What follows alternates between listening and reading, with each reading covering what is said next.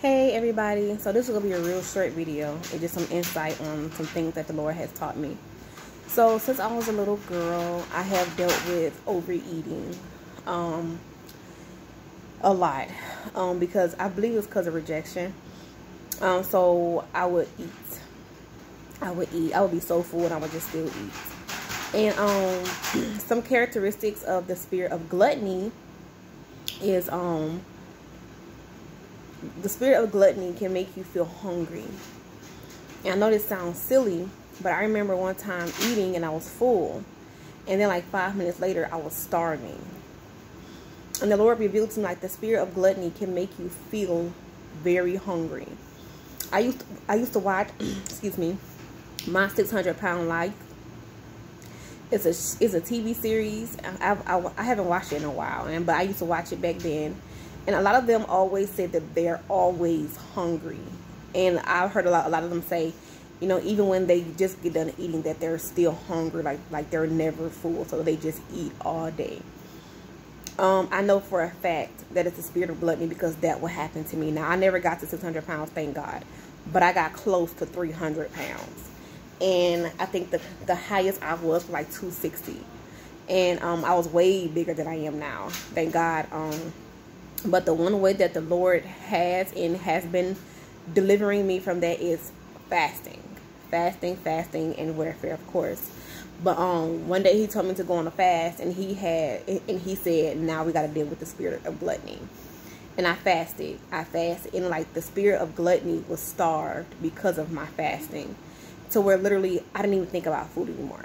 I didn't think about it. I didn't even want it. Um. I, yeah, I didn't even want it. You know, I, I didn't think about, I didn't care about it. I didn't crave it. You know, I, I um, God also taught me that a lot of cravings come from um the enemy. Let me explain, okay?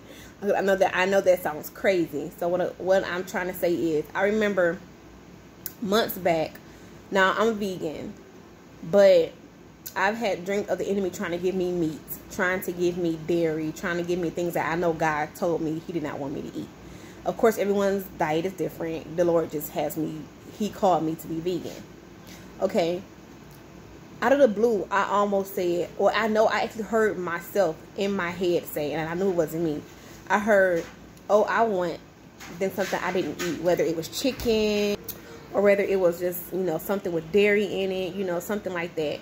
And one time I caught myself saying it, and I was like, oh, I want, and then I caught myself. I was like, why was I about to say that? Like, that, that wasn't me saying that.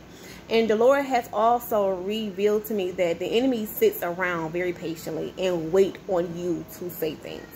Because there's life and death in our tongue.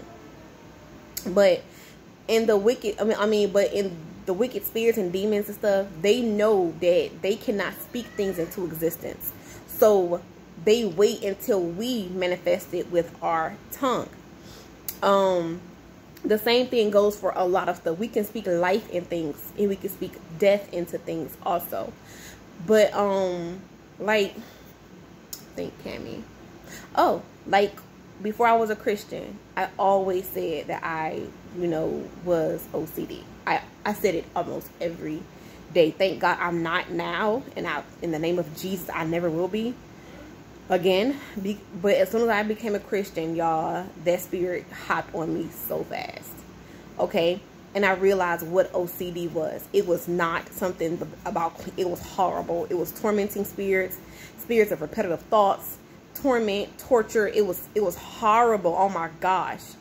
So i basically called that mental illness on me and i didn't even know it you know? Nothing came on me when i was in in christ when i was in the world, when I was doing my own thing, I had no problems.